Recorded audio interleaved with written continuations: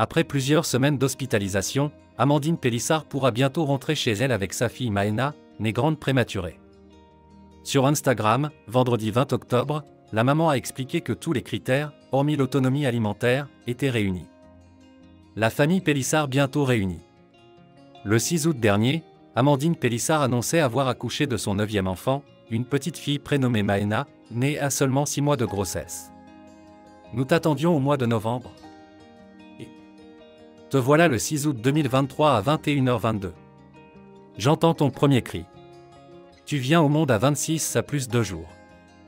Tous mes sentiments s'entremêlent. Malgré ton terme si précoce, je peux accoucher par voie basse et sans péridurale comme je le souhaite.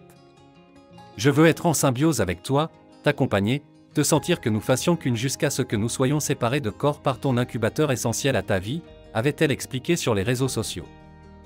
Depuis son accouchement, la maman de Léo, Léna, Alina, Luna, Adam, Charles, Hector et Octave donnent régulièrement des nouvelles de son neuvième enfant sur les réseaux sociaux.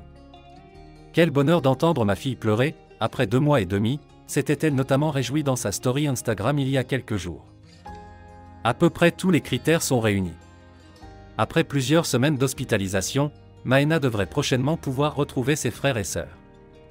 Vendredi 20 octobre, Amandine Pélissard a en effet expliqué que tous les critères, hormis l'autonomie alimentaire, étaient réunis pour cela.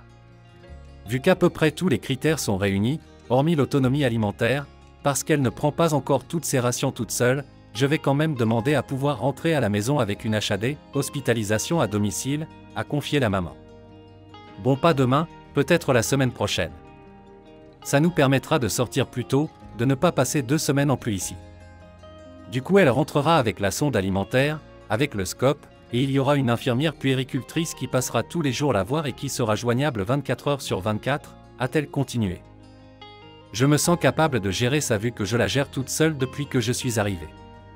Au début j'étais pas trop chaude, mais finalement si ça peut nous permettre de rentrer plus tôt, si les médecins donnent le feu vert, pourquoi pas, a précisé Amandine.